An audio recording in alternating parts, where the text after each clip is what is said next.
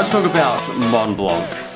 This is a Mont Blanc pen case, and if I open up the pen case, you can see pretty much a brand new Mont Blanc Meisterstück 146.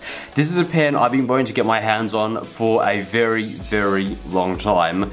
This one here currently has a fine nib on it, but if you actually look at the pen, you can see a dead giveaway that this pen didn't always have a fine nib on it. Look at that, it has an M on the sticker because this pen came with a medium nib and there's a good reason for why it's now different. This pen wasn't actually bought by me, I don't really have the money to buy a Montblanc 146. This pen was actually given to me by my sister for my birthday, you know, mad shout out to her because this is a pen that I've been wanting to get my hands on for a very long time. And she didn't know what nib to get me. And when she went to the Mont Blanc store, she asked, you know, what would be a suitable nib. And usually, most people re will recommend just getting a medium nib for people with Western style handwriting, and that's obviously what they recommended to her because they gave her a pen that had a medium nib on it.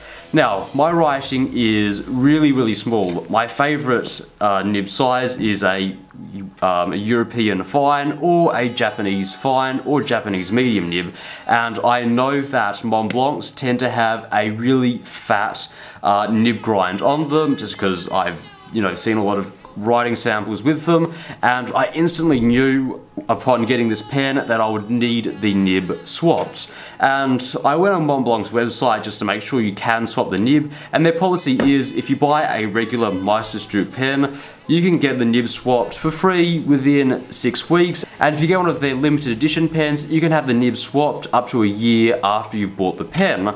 So two days after my birthday, on the 4th, what I did was I went into the Mont Blanc store in the city and I asked them, you know, I have a Mont Blanc 146, would it be possible for me to, you know, exchange the nib? And they're like, sure, definitely, let's do this. Um, they let me test out a whole bunch of pens, which was pretty awesome. What they do is they have this awesome drawer in one of their desks. They sit you down, they pull out the drawer and it has nothing but Mont Blancs in it. They had extra fine, fine, medium, oblique medium, broad, double broad, oblique broad. They had everything. And I got to test out about six different Mont Blanc pens, which was pretty neat.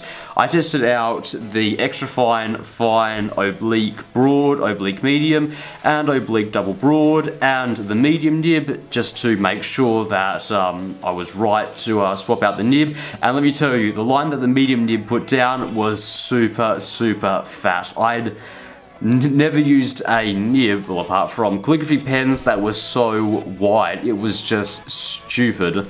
One thing I will say about Mont Blanc is they use the Mont Blanc uh, writing pad and funnily enough the Mont Blanc writing pad started to feather like crazy. Even just using the fine nib in the store it started to feather and absorb the ink like crazy and don't even get me started on the double broad that I used. That really just, no, that paper is not designed for fountain pens. Mont Blanc, seriously, gotta get some rhodia paper in there. Another funny thing that I mentioned about the Mont Blanc store is when I was testing out the pen, the Mont Blanc girl tried to correct how I was using the fountain pen. She said I was holding it at too shallow an angle and I need to hold it steeper. Well, go figure. Uh, that really made me um, mess up. The pen started skipping when I corrected the angle and I'm just thinking, no, no, no, no, no, just don't. Do you know who I am? no, I wasn't thinking that. I just thought that was pretty funny. No.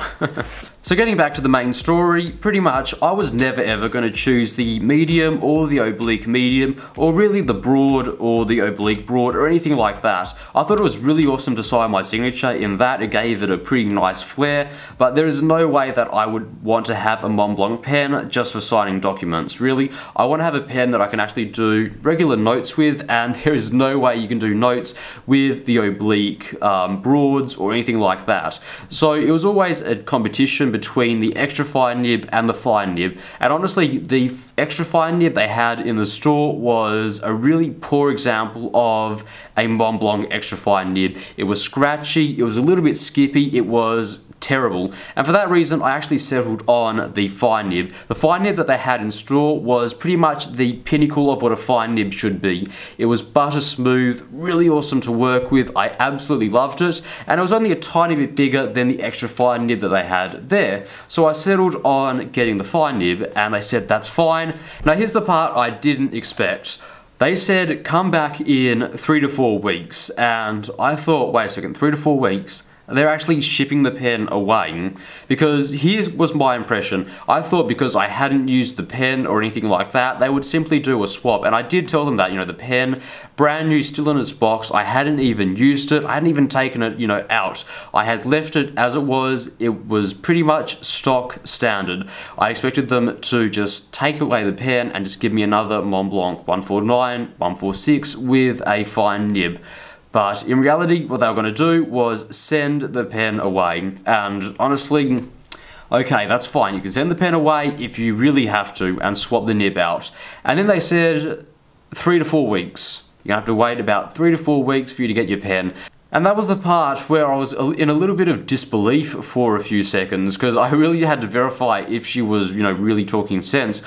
But yeah, three to four weeks. And to give you a bit of um, perspective, when I wanted the nib swapped on my Parker Sonnet, they said, yeah, come back in three days, we'll get the parts in and we'll swap the nib. That was a three day wait and three days later, they gave me a call and I came and got the Parker Sonnet. But for this pen here, three to four weeks. This pretty much said to me that, that they don't have these spare nibs at the store or anywhere in Sydney. They pretty much were going to be sending the pen all the way either to Germany or another place in maybe Victoria or something and swapping the nib there, which doesn't really uh, make sense to me. I thought they would have spare parts in the store or at least in the same state as I was, but nope, three to four weeks is what it would take, and while I was super annoyed at this, I did it because honestly this is a Mont Blanc I want to be using this pen for a very long time and I do want to get the perfect nib on it. So I said yes okay not happy but let's send the pen away. So they got my details and then they said can you please sign the you know document and they gave me a ballpoint pen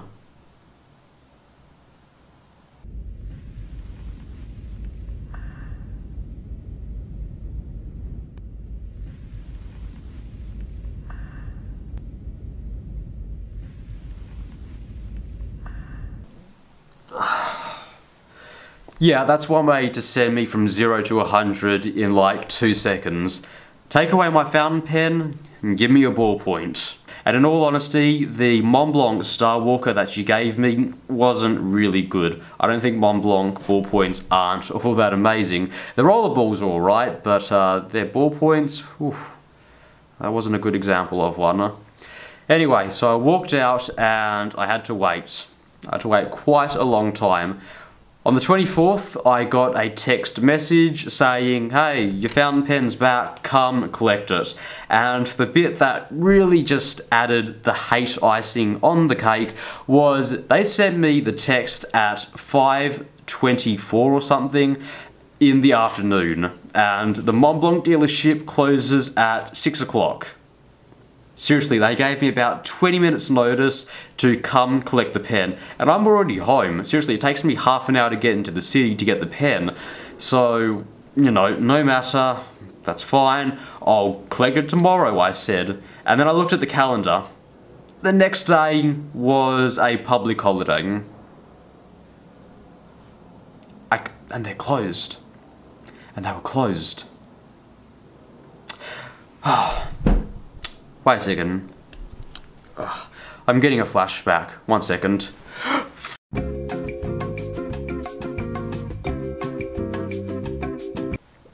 One can say that I was not terribly happy with Mont Blanc at that point, but oh well. I came in on Thursday to collect my Mont Blanc and I made sure to test the pen in store which is pretty cool. They filled up um, the barrel about halfway with Mont Blanc permanent black ink which I thought was pretty awesome of them.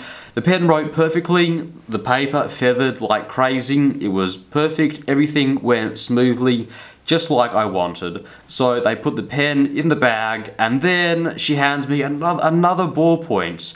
I'm just thinking like she put she put the pen in the bag and I was holding the bag and I was holding the bag in my hand and then she's like oh can you can you sign this? I'm just thinking another ballpoint? Oh god. Oh I'm gonna get flashbacks. So um, yeah I sign it and that was pretty much it so um, that's pretty much the story of swapping out the Mont Blanc nib so if you ever get a Mont Blanc as a present or whatever just be warned, you're going to be without this pen for quite a few weeks. So um, now that I have the pen back, I would actually like to start writing with it.